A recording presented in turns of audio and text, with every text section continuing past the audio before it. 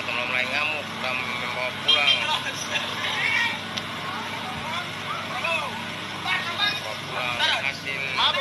pembelian Ahmad Hatari dipulangkan langsung ke rumahnya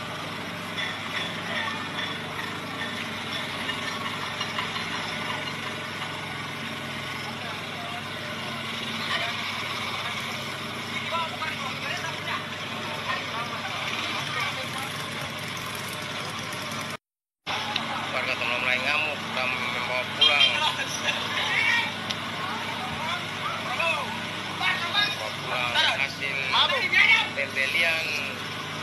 Ahmad Hatari dipulangkan langsung ke rumahnya